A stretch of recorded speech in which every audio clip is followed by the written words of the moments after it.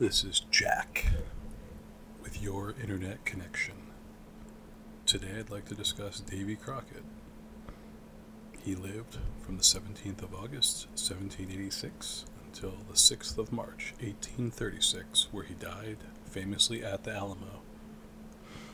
Davy Crockett is one of America's first folk heroes, best known for his death at the Battle of the Alamo in 1836. I just said that twice. Davy was also a writer, hunter, and U.S. congressman. As a man, Davy lived as an adventurer and frontiersman.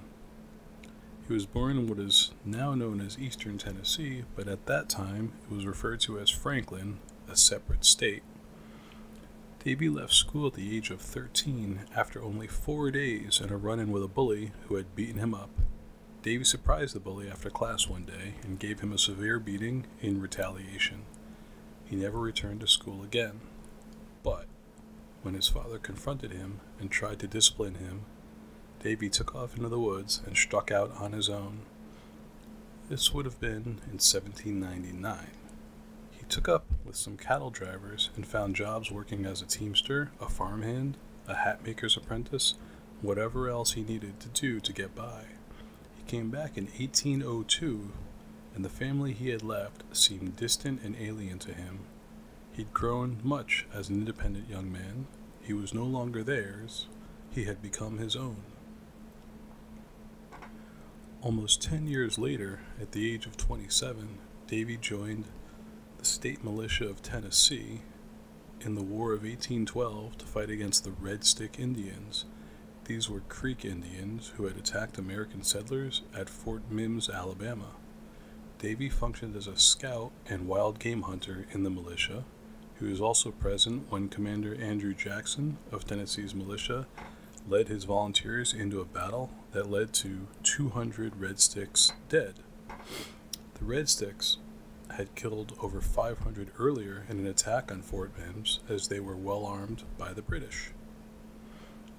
Now, a veteran and renowned frontiersman, Davy served in the Tennessee legislature in 1826, which led him to later being elected to three non consecutive terms in the House of Representatives.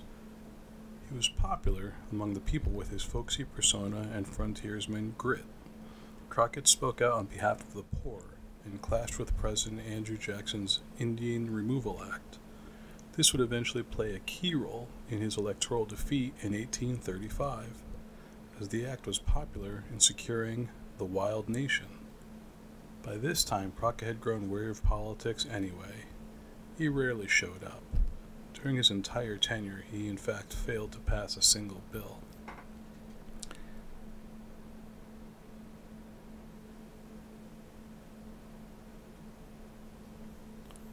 During his career, Davy had many jobs, including farming and manufacturing wood barrels and gunpowder. He had profound skill as a bear hunter he spent much of his life stalking black bears in the woods of Tennessee, selling pelts, meat, and oil to make his living. He claims to have killed 105 black bears during a seven month period between 1825 and 1826. One of the legends that he told about himself was that he once killed a bear in pitch black by stabbing it in the heart with a butcher knife.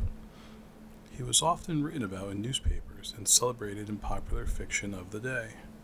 Crockett was popularized in the 1831 play The Lion of the West. Although it did not refer to him directly, the hero certainly portrayed him and also had the unfortunate name of Nimrod Wildfire. This drove Davy Crockett's persona to national fame and grew his legendary status. One book written about him was Sketches and Eccentricities, easy for me to say, Eccentricities of Colonel Davy Crockett. It was very successful. This inspired him to write his own autobiography. In 1834, he published an autobiography titled A Narrative of the Life of Davy Crockett of the State of Tennessee. It was reprinted many times and was very successful. It is currently available for purchase on Amazon.com and has four and a half stars. Davy Crockett famously came to the aid of President Andrew Jackson during an assassination attempt by the crazed gunman named Richard Lawrence.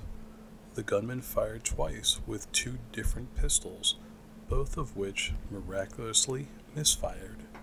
President Jackson beat the gunman with his cane. Crockett was one of several bystanders who wrestled the man to the ground and disarmed him.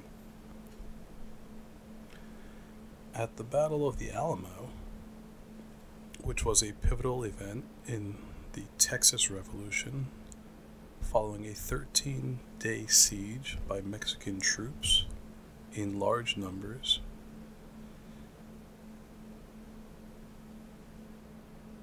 A massive assault was launched at the Mission Alamo near San Antonio, killing all of the Texan defenders. Crockett died fighting there on the morning of March 6, 1836, at the age of 49.